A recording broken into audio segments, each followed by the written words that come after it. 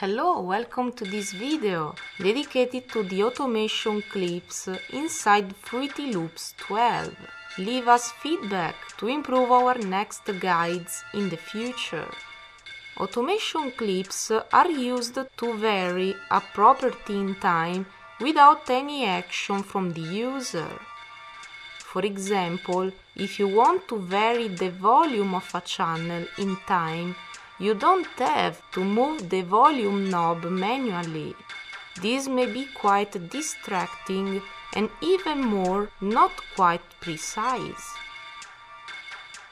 For basic channel properties like the volume, the pitch or the panning, you can vary them in time using the piano roll. Simply choose the channel property on top and use the draw tool to define how these must vary.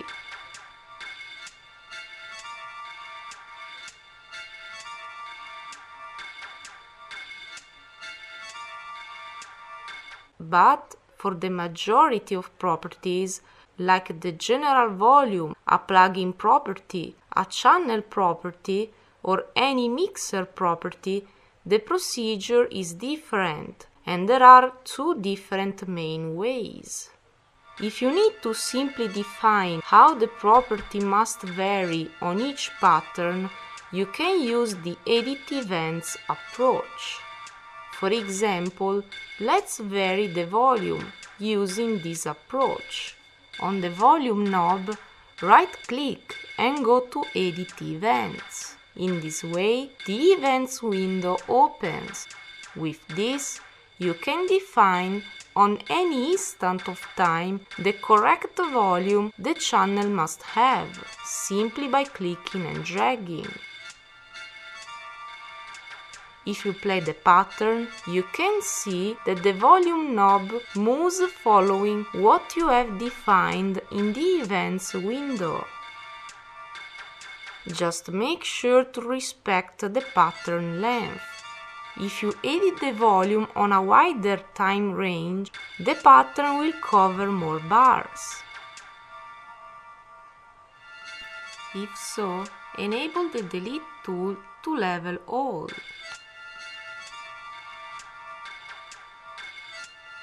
You can easily respect the length if you use the draw tool.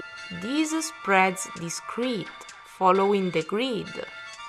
Then, with the magnet, you can change the snap size to be more or less precise. In this simple case, you just have positive values from 0 to the top level. Some other properties, like the panning, have positive and negative values, representing the right and the left channels respectively. Discrete properties, like the green light, can be just on or off, so you have just top or zero values.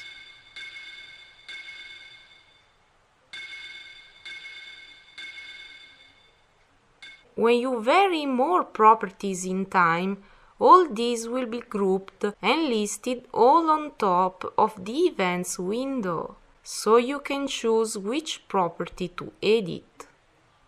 To remove the events on a property, simply delete the whole graph with the delete tool.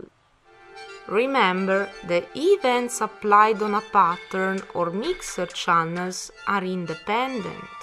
If a pattern channel has events, those are applied just to the pattern selected when you edit those. If you change pattern, the same channel can have different events applied. All events added to a pattern or a mixer channel are represented on the background of the pattern that contains them. The events timeline refers to the pattern length. In fact, if you paste more copies of the same pattern, the events are applied in the same way. The second method is the automation clips. This is very useful if you want to vary properties on any instant of time without depending on any pattern. The procedure is the same. On the property, for example the volume knob, right click and go to create automation clip. A new channel appears on the pattern with a different color. Don't get confused. This is not at all a normal pattern channel that brings the sound in output. It is, however, treated like a channel and managed like a normal pattern inside the playlist. In fact, automation clips are effective just in the playlist mode and are totally independent from patterns. Automation clips are recognized through a slope icon in a corner and do refer to the property chosen, described with the channel interested and its property interested. The way they work is very easy. When the channel interested is being played and the player is passing through its automation clips at the same time, the channel property follows the graph inside the automation clip. By default, this has three points. The bigger ones move the value up or down, while the middle one adjusts the curve. Add new points right-clicking on the curve. If you right-click on the big points, you also change the kind of curve or delete them. To edit such curve, you can also open the automation clip settings and enable LFO. You can create automation clips that do vary in time. For example, if you want this LFO shape to change in time, you can right click on the knobs and go into Edit Events or Create Automation Clip. This is all. Check out this guide to learn more for FL Studio 12.